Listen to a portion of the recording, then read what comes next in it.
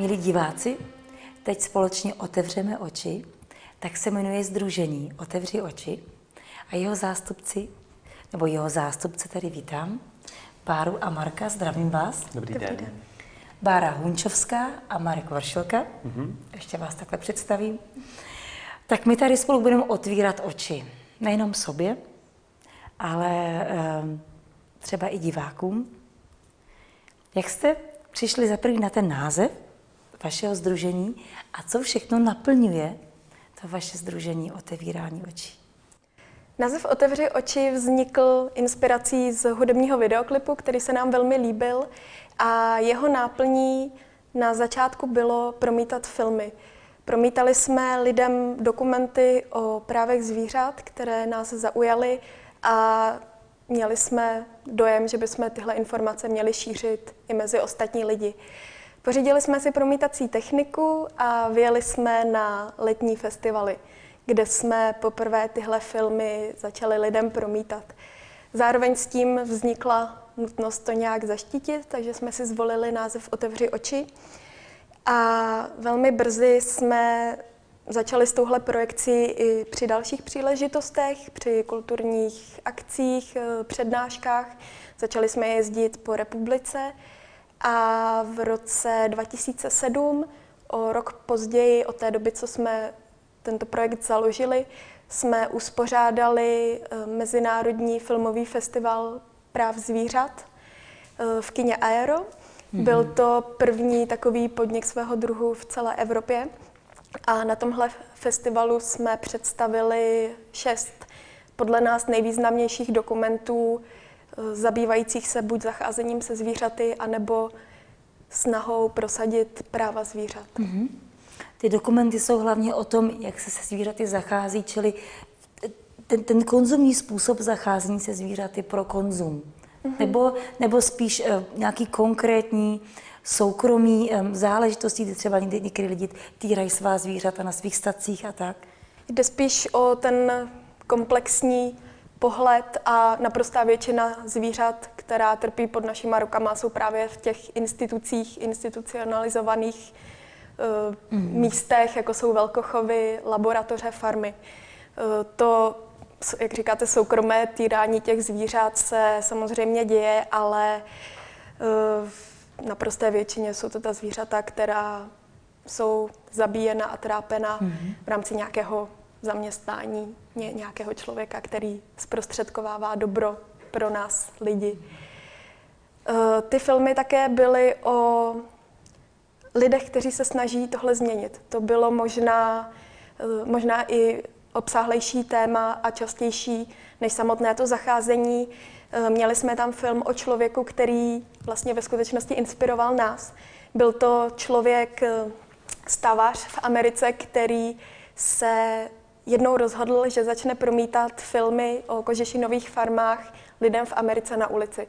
Takže on si zařídil speciální auto, kam vmontoval obrazovku a začal jezdit eh, po amerických ulicích a promítat tohle. Eh, tenhle pán konkrétně inspiroval právě nás s tou projekcí.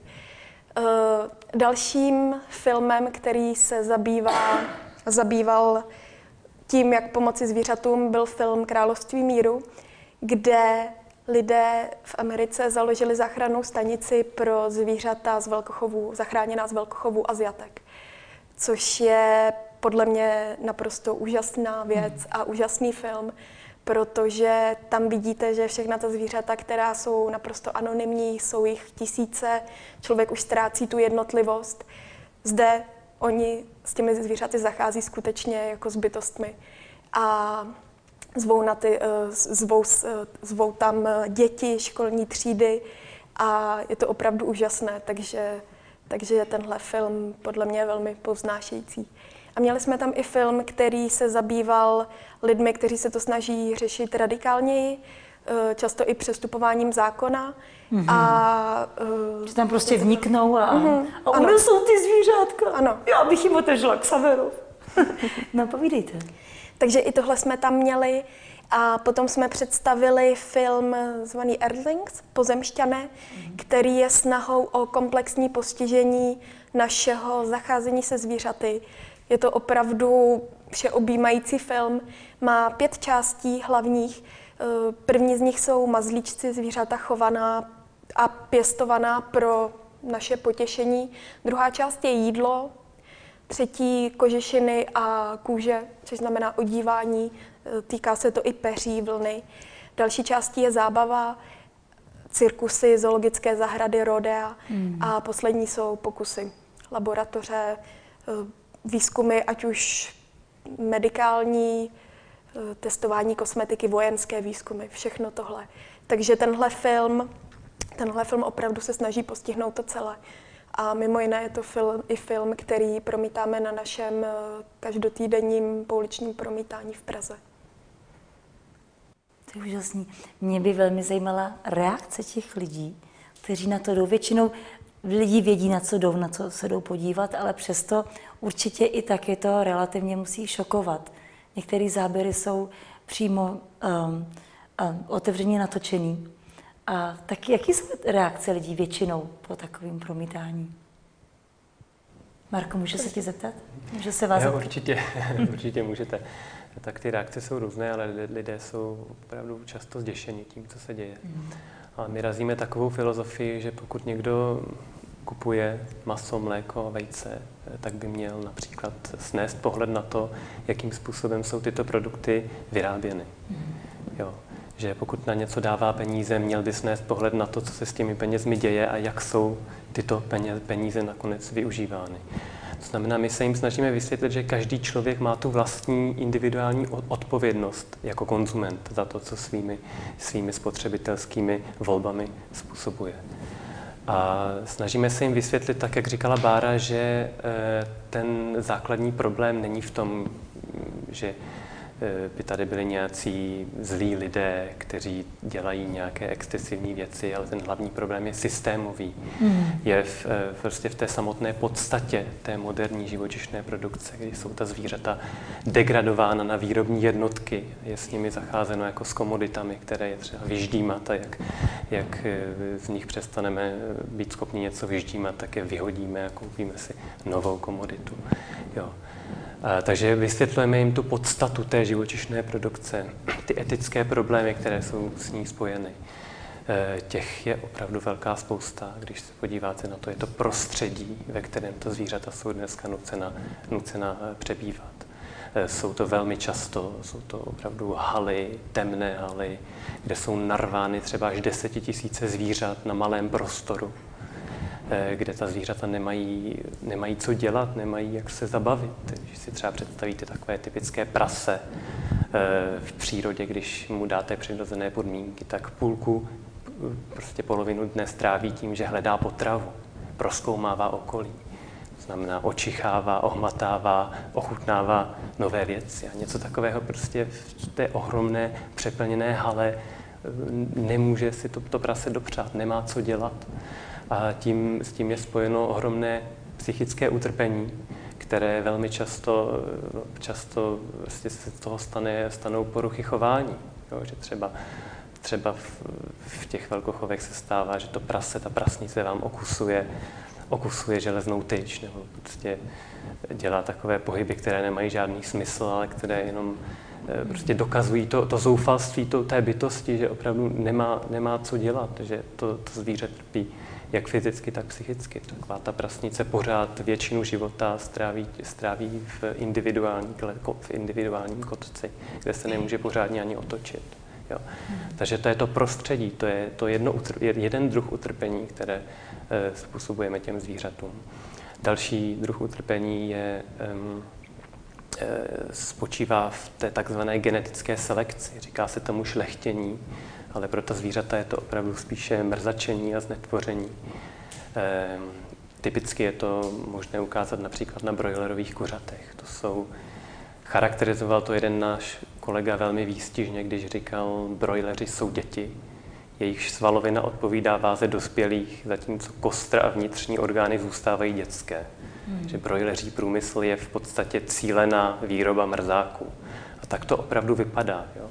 A stávají se věci, kdy třeba u toho brojlerového kuřete jim končetiny mu neunesou jeho svalovinu, zlomí se tomu kuřeti nohy a to kůře umře žízní, protože nedojde, nedojde k vodě a k potravě. Nebo pak samozřejmě jsou i z toho další zdravotní problémy, z toho naprosto nepřirozeného stavu, který byl cíleně tím člověkem vyvolán. Nebo ten příklad se dá ukázat i na, na mléčném průmyslu, na tom, v jakém stavu jsou dnešní dojnice. Um, těm dojnicím se tvoří až desetkrát více mléka, než by kdy vypilo tele. Může to být v některých stádiích laktace až 50 litrů za den. A to je jedna věc. A druhá věc je, že ty krávy jsou uměle oplodňovány, protože kráva nedává mléko jen tak, vyrábí ho jenom pro své telátko a začne se jí tvořit jen, když porodí to své tele. Takže ona je uměle oplodněna, nechá, nechá se jí odnosit to dítě, to tele, nechá se jí porodit a jakmile porodí, tak přijdou lidé a to telátko jí vezmou násilím. Oddělí je, izolují je, už se nikdy v životě nesetkají. Jo, a pak se začne odebírat to mléko té krávě. Dva měsíce poté je znovu oplodněna. To je další nepřirozený stav. V přírodě by vždycky skončila laktace, teprve pak by došlo k dalšímu otěhotnění. Zde jsou uměle oplodněny dva měsíce poté, co, co porodí telé. Takže oni pak musí jednak živit svůj vlastní plod a jednak produkovat ohromné, extrémně vysoké množství mléka. A pro ně je to taková zátěž, že je prokázáno, že po určitou část života trpí takzvaným metabolickým hladem. Hmm. Což znamená, že ať jedí, jak jedí, tak nemohou nemohou pokrýt své energetické výdaje. To znamená, jedou na úkor svého vlastního organismu, odbourávají svalovinu, odbourávají svůj vlastní tuk, aby mohli vlastně uživit to své, to své dítě v břiše a produkovat ta ohromná množství, ta ohromná množství mléka. To znamená, to jsou ty genetické selekce, které jsou pro to zvíře opravdu takovým cíleným mrzačením, a které pro něj znamenají ohromný, ohromné zátěže a Eh, vedou také ke zdravotním problémům. Ta kráva, ta třetina krav trpí, trpí kulháním, protože ta obrovské vemeno tlačí jejich zadní končetiny do naprosto nepřirozeného postoje. Hmm. A um, takže to vede k tomu, že opravdu třetina krav kulhá a potom taky velmi častá je takzvaná mastitida, což je bolestivé onemocnění vemene. Um, Jakoby zánět. No, zánět, zánět vemene, který právě taky velmi, velmi tomu přispívá. Jednak to nepřirozené prostředí, to, že krávy jsou celý život zavřeny v kravínech, mm. není jim umožněna pastva, je jim dávána vysokokalorická strava. A takže je to jednak to špinavé prostředí, jednak to ohromné množství mléka, to ohromná zátěž, která přispívá ke všem těmto zdravotním problémům. Ale přesně na tomto chovu dojnic je vidět ten přístup člověka k tomu zvířeti. Jo, je, to, je to surovina, my tu krávu vyždíme, jak nám přestane dávat mléko, protože má onemocnění, nebo protože prostě už nedává tolik, aby nám to vynášelo, tak ji prostě vyhodíme, pošleme ji na jatka, koupíme si novou, prostě telátek máme hodně. Jo, ten přístup opravdu k tomu zvířeti je to něco, co můžeme ždímat, jak chceme, k našemu vlastnímu prospěchu a to je úplně imanentní té dnešní živočišné produkci. A bohužel třeba ty problémy s dojnými krávami, o kterých jsem nyní hovořil, ty, ty se objevují i v biochovech. I v biochovech jsou chovány tyto krávy s tak extrémní vysokou produkcí mléka, takzvané holštínské krávy. Stejně tak jsou v biochovech uměl, krávy uměle oplodňovány a jsou jim odebírány násilně telátka. To znamená, to je taky jedna věc, kterou se snažíme těm lidem vysvětlovat, že je iluzorní si myslet, že ten, eh, ten problematický vztah člověka ke zvířeti, který, eh, který je patrný z, z toho způsobu produkce, že se dá vyřešit nějakým zlepšením zákonů, to je iluzorní. Jo. Když si představíte 50 tisíc kuřat, která jsou namačkána v nějaké hale, protože ta poptávka potom je tak vysoká, že to jinak ani chovat nelze, tak je iluzorní si myslet, že můžete každému tomu kuřeti dopřát nějaký idylický rodinný domov. Jo. To znamená, my nabízíme těmto lidem jako řešení, jako nejlepší možné řešení na individuální úrovni veganství. To znamená bojkot všech těchto živočišných produktů, s nimiž je, s nimiž je neoddělitelně spojeno utrpení zvířat. A samozřejmě jsme realisté a víme, že ta změna stravy, tak radikální změna stravy není pro každého jednoduchá. Takže vždycky nezapomeneme dodat, že každý krok směrem k tomuto ideálu je, je pozitivní a je třeba ho podporovat. To znamená, jakýkoliv krok, jakékoliv omezení, jakákoliv redukce spotřeby těch živočišných produktů je krok správným směrem, který podporujeme. Já se ještě vrátím k tomu týrání zvířat. Uh, byl to první bod, uh, co se týče těch kuřat, a druhý bod krav. Jak to třeba vypadá takový chov konů? Za třetí týrání zvířat, jak se třeba chovají koně. Teď je taková aféra s masem, s koňským masem. Hmm. Tam to asi není nic lepší, že? Uh, většinou koně, které, které jdou na jatka, nejsou chovaný uh, na farmách ve velkochovech. Jsou to koně, které mají jednotlivý chovatele. Často jsou to i koně závodní, sportovní. A právě tady ti, tady ti chovatelé, pokud pro ně ten kůň je jenom prostředek, jak získat peníze na ježdění a podobně, tak potom ho pošlou na jatka. Eh, já si myslím, že u nás se koně rozhodně nechovají eh, Existuje je, jenom na maso. Myslím si, že určitě ne. ne. Já jsem teda viděla nedávno dokumentární film, ten byl od někac z Azie. Uh, a myslím, že nevím, co to byla Arménská republika, nevím. A tam je teda chovali uh, jenom na maso. Hmm. A bohužel teda uh, s film, nebo zabrali, udělali záběry z porážky konů. A to pro mě byl naprostý vatřes. Když jsem viděla tak krásný zvíře s tak obrovskýma očima, tu jeho velkou duši v tom těle. A ten způsob, jak ho zabíjeli, to mě připadlo neuvěřitelný. A k tomu se vrátíme teď k bodu číslo tři, k tomu, jakým způsobem jsou ty zvířata usmrcovány. Měli jsme tady teda drůbež, my jsme tady prasátka, krávy, to jsou taky nejčastější, že jo? nejčastější pokrytí masa v tom našem každodenním životě. takže bod číslo tři nebo čtyři, ten způsob usmrcení. Ten je asi stejně e, hrůzný jako chov samotný, že jo? E, já bych k tomu mohla říct, že ty zvířata rozhodně nechtějí zemřít na těch jatkách. To a věřím. rozhodně vědí, co se děje, vědí, mm-hmm. co je čeká, cítí mm-hmm. to, slyší hřev, e, cítí, cítí krev vidíte svoje zvířata, která tam s ním přijala na ta jatka, jak postupně hmm. jsou zabíjeny. A ty zvířata opravdu, opravdu vědí, co je čeká a trpí. E, co se týče způsobu zabíjení, tak e, zvířata by podle zákona mají být e, omráčena předtím, než jsou usmrcena. Jsou udělovány výjimky týkající se rituálního porážení, ale všechna zvířata, která eh, jsou zabitá na klasických jatkách, by měla být omráčena. Problémem je, že by měla být, ale často se šetří. Šetří se na elektrickém proudu, kterým jsou, eh, kterým jsou omráčena prasata. Šetří se také tím, že se jede strašně rychle.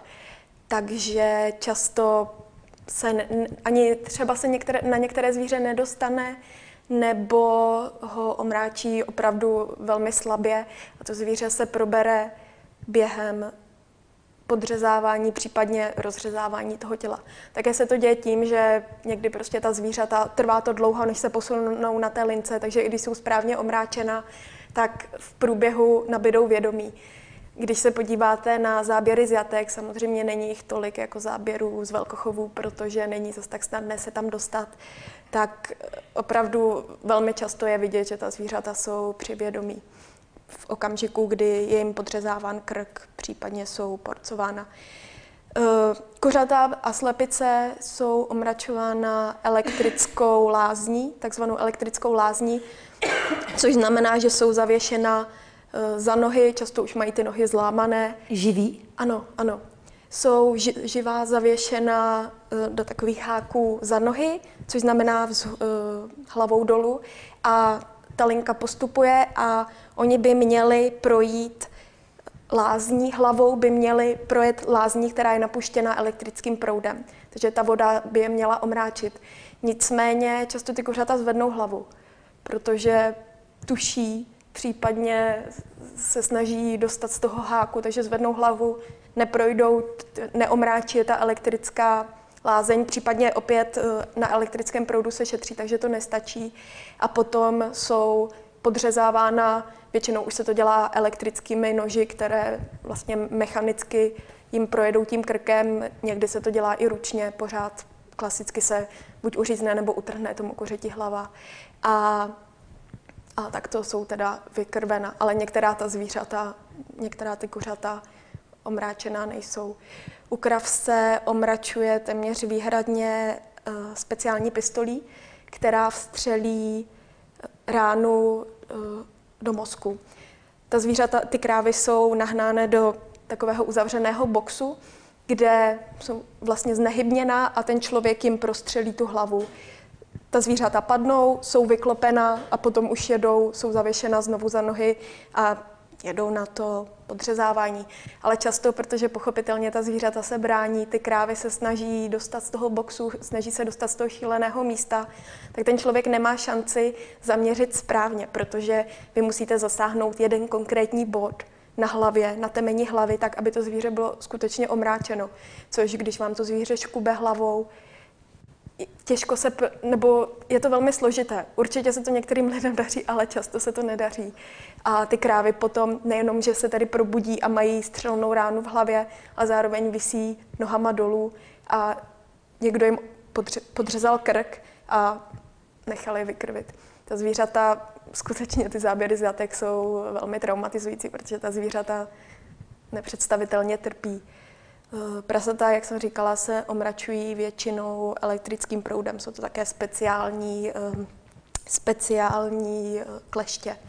Některá kuřata se zabíjejí a zároveň omračují plynem, jsou zavřena do plynových komor a tam by tedy mělo dojít k jejich rychlému usmrcení, ale opět často slycháme to i od lidí, kteří nám říkají, že pracovali na jatkách a že to tam vypadalo přesně tak, to šetří se na všem, šetří se na plynu, takže i ty zvířata umírají pomalu.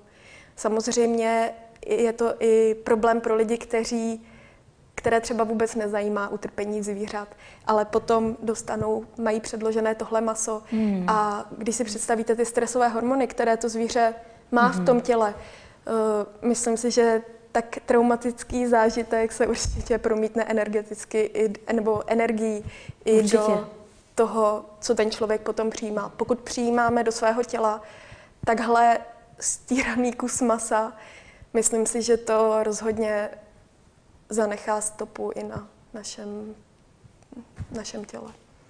Možná na, naš, na našem nějakém podvědomém chování, že?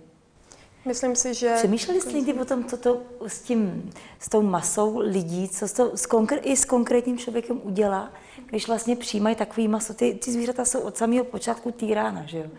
To, že vlastně nemají přirozený způsob života a ještě se pobavíme za chvilku o stravě, co vlastně, jak je krmí. Eh, to, co teda do sebe přijímají a jak vlastně potom ukončují svůj život. Takže když se to tak člověk jakoby promítne v té hlavice a, a pak to pozří, a nebo když to vůbec jako neví, co pozří, tak v tom kolektivním podvědomí to musí zanechat nějakou stopu.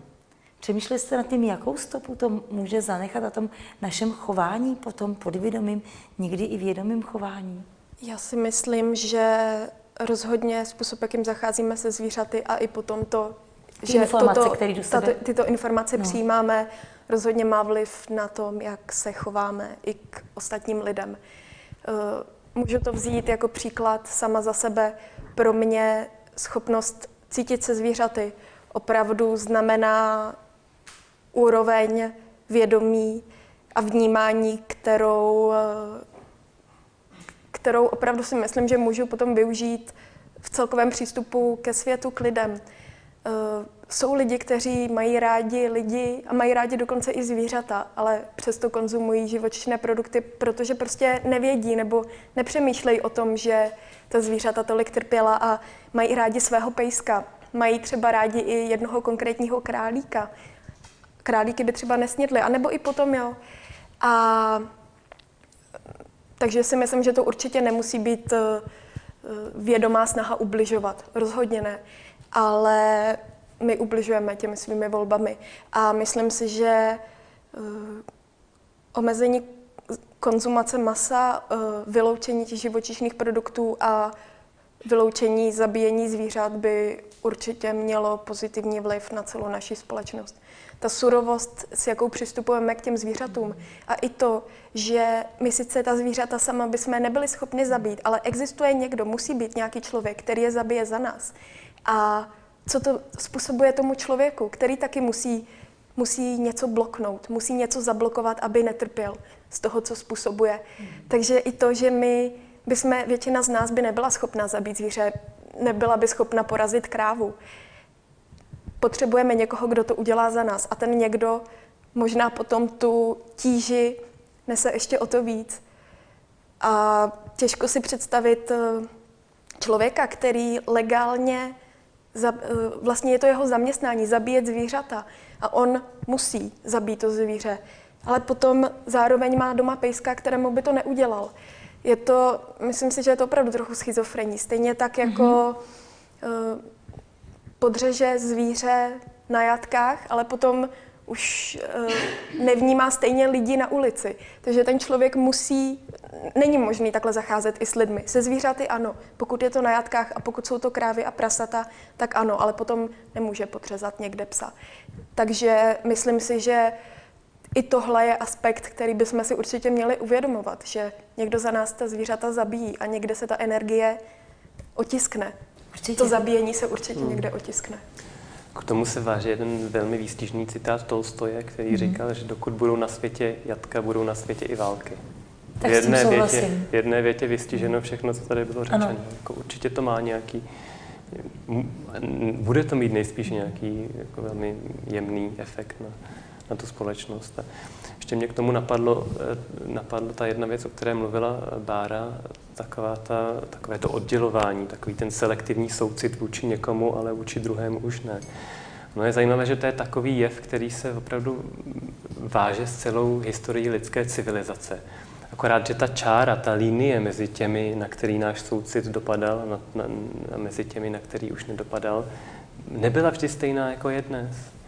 Já právě dokončuji studium na právnické fakultě a v prvním ročníku jsme měli povinný, eh, povinný předmět římské právo. A asi hned na třetím semináři jsme se učili, že otrok je věc nedělitelná, věc individuálně určená, je to, je to věc movitá a je to, je to prostě věc, která se dá prodávat, pronajímat, dávat do zástavy, půjčovat a tak dále. A prostě to všechno pochází z právních knih, z učení právě vynikajících římských právníků. Vlastně celý eh, dnešní systém ve většině evropských zemích, dnešní právní systém je postaven na, na základech římského práva. A když si představíte, že tenkrát měl takto propracovaný právní systém, který také pracoval s termíny, jako jsou dobré mravy, Jo, taková ta základní zásada, že neplatný je, neplatné je právní jednání, které je v rozporu s dobrými mravy. To všechno pochází z toho římského práva. Ale když si uvědomíte, že ti lidé byli schopni na jednu stranu mluvit o dobrých mravech mm-hmm. a na druhou, na druhou stranu páchat takové ukrutnosti vůči, vůči jiným lidem, tak si uvědomíte, že ten efekt, takové to uzavření se vůči jedné skupině bytostí, jakože tam už naše mravní zásady nedopadají. A přitom ta schopnost aplikovat ty mravní zásady vůči jiným e, skupinám bytostí, že to se táhne s celou naší historií a jenom ta čára se posunula. Takže jsme se trochu zlepšili, že to kolektivní vědomí a úroveň eh, lidská se zlepšila, že jsme to přesunuli od lidí na zvířátka. A věřím tomu, že to dokážeme ještě z těch zvířátek posunout, uh, doufám, že už nikam, že prostě to otroctví tady skončí. Mm, teď v novodobých slovnících se říká velkochovům holokausty. Asi jste to taky slyšeli. Mm-hmm. A já si myslím, že už ta nálada v té společnosti eh, vůči tomu otroctví eh, sílí tak, že, že možná za chvilku opravdu tady eh, víc a víc organizací a spolků se semkne a vytvoří nějakou vlnu. Eh, která prostě bude mít daleko větší vliv a tlak na ty tam nahoře, aby prostě eh, přehodnotili a zmínili to otroctví zvířat vůči nám. Já bych možná ještě dodala k tomu, co tady padlo, dokud budou existovat jatka, budou existovat i války. Většina lidí, řekla bych, že téměř všichni, kteří zabíjejí lidi, se učí na zvířatech. Eh, lidi, kteří týrají zvířata, mají mnohem vyšší pravděpodobnost, že svůj, svoje násilí obrátí i vůči lidem. Vojáci se často trénují na zvířatech. Eh, padl tady ten holokaust. Eh, I nacisté velmi kvalitně odkoukali způsob, jak se zachází se zvířaty. Oni tohle, tuhle paralelu vyvolávali zcela záměrně. Židé do koncentračních táborů byli převáženi v dobytčácích. Bylo s nimi opravdu zacházeno jako, To je pravda. jako se zvířaty. Byli cejchováni, byly jim eh, tetována identifikační čísla. Už to neměl, nebyli to li- lidé, kteří mají jména. Byla to opravdu jenom čísla. Jako to moje zvířátka. Skutečně, určitě. Měla, měli tetování. Eh, Zároveň se hovoří i o tom, že někdy v určitých izolovaných případech eh, někteří konkrétní nacisté začali nebo vzali si několik osob a víceméně je popravili stejným způsobem jako zvířata. Opravdu s tou paralelou na ta jatka. Jo. Celkově eh, celé i to uspořádání těch eh, koncentračních táborů je možno nalézt inspirace právě v amerických eh, velkofarmách, které se v té době začaly rozmáhat. A na toto téma vyšla jedna úžasná knížka, kterou bych rozhodně doporučila všem, které zajímá právě ta paralela s holokaustem. Ta knížka se jmenuje Věčná treblinka. A ten název pramení z toho, že holokaust podle tohoto pojetí neskončil, ale jenom se to utrpení a zacházení přemístilo na uh, jiné bytosti. A v téhle knižce je dokonale popsána ta paralela mezi holokaustem a to tím, že skutečně nacisté se velmi inspirovali zacházením se zvířaty. A samozřejmě židé byli degradovány na úroveň eh, zvířat někdy i pod, čímž bylo zase ukazována ta hierarchie. A eh, určitě bych doporučila každému, koho to zajímá, si tuto knížku přečíst. Je to, je to opravdu někdy až šokující. Eh, Mluvila jsem už o tom, že vojáci se trénují eh, zabíjení na zvířatech, dělali to i nacisté. Eh, Pro spoustu těch mužů, kteří byli, kteří byli odvedeni do Wehrmachtu, eh, do německé armády anebo do SS, bylo pro ně traumatické ze začátku zabíjet lidi, postavit je do řady a postřílet je. Takže jim byla předkládána zvířata, na kterých oni se trénovali. Eh, Trénovali se na kuřatech, na psech a podobně, eh, na králících psech někdy a podobně. Takže myslím si, že i pro člověka, kterého opravdu nezajímají zvířata, což eh, si myslím je smutné, ale jsou takový lidé, tak i pro ně by tohle mělo být, nebo mohlo být znepokojující, protože způsob, jakým zacházíme se zvířaty, nejde oddělit od toho, jakým zacházíme s námi, s lidmi. Konec konců jsme také zvířata. Takže Co tím si, myslíte? Můžu se jenom zeptat? Mhm, To mi určitě. svá smyslu, proč jsme taky zvířata? jsme také zvířata, protože jsme živé bytosti, patříme do skupiny živých bytostí, živočichů. Člověk je v podstatě členem eh, nebo patří do skupiny primátů, respektive se z ní vyvinul, ale spojují nás s ostatními živými bytostmi, s ostatními zvířaty, všechny biologické, biologické konstanty. Máme stejnou krev, která která stejně vypadá, trpíme stejnou bolestí. Pokud nám někdo ublíží, pokud nás někdo řízne, bude nás to bolet stejně, jako když někdo řízne prase. Eh, Jsme schopni trpět, vnímat svět okolo nás. Všechno tohle je vlastnost i všech ostatních živých bytostí. Respektive na určité úrovni se tohle týká i rostlin, ale živočichové rozhodně jsou schopni trpět prokazatelně Hmm. a eh, v, tom, v tomto aspektu opravdu jsme zvířata. Samozřejmě A nebo zvířata jsou taky lidé. Taky je to tak vzít. Já to spíš vždycky takhle jako by přirovnávám opačně, Razím protože kohák. oni mají taky duši. Razim Kohák říká, že zvířata jsou jenom že, zvířata jsou také jenom ochlupení lidé, ochlupení malí človíčkové. Eh, Tak toto pojal a eh, my to samozřejmě nemusíme brát do slova, ale všichni jsme si rovni, všichni jsme na stejné úrovni. A když se, eh, te- teď je to díky bohu velmi populární, zkoumat inteligenci a kognitivní schopnosti a celkově vnitřní svět a prožívání mimo lidských zvířat. A ty výzkumy jsou ohromující. Ta zvířata jsou eh, víceméně stejně vynalézavá, stejně vnímavá, inteligentní jako my. Eh, zrovna včera jsem opět narazila na můj oblíbený článek o moskevských psech, kteří jezdí metrem. A stejný případ jsou holuby ve Stockholmu, kteří zjistili, že oni můžou nastoupit do metra a vystoupit na jedné konkrétní stanici, kterou poznají podle délky času, jak dlouho to tam trvá, a vystoupit. Protože oni bydlí na okraji města, a potravu mají hlavně, eh, hlavně v centru, takže oni používají metro. Holuby taktéž. Oni zjistili, že létat jednu stanici, oni opravdu jedou jenom jednu stanici tím metrem. Si ušetří Ušetří si ty křídla, jasně. Proč by lítali? A takovýchhle případů, mě, já je sbírám, protože mě osobně to A oni si asi, jako oni nastoupí do vagónu, oni se asi na něj sednou. Nebo ne, ne, nastoupí, ne, nastoupí, do vagónu, i ty nastoupí, holuby. ano, ano, nastoupí nastoupí. A psy, oprav, něk, někdy se stane, že pes zaspí v moskevském Jako člověk, co? Zaspí a prošvihne tu stanici, takže musí jet zase na zpátek a odměřit si zase zpátky, jak, mm-hmm. jak dlouho to trvá. Mm-hmm. A uh, tohle jsou ty vtipné příklady, jsou je jich spousta opravdu skutečných, uh, skutečně zajímavých. Ta zvířata jsou neskutečně fascinující. A právě toto nám pomáhá si uvědomit, že každé tohle jednotlivé zvíře, které je v těch farmách, v těch velkochovech, je přesně takovéhle. Má ten svůj vnitřní svět, který je, nebo který by chtěl být neuvěřitelně bohatý.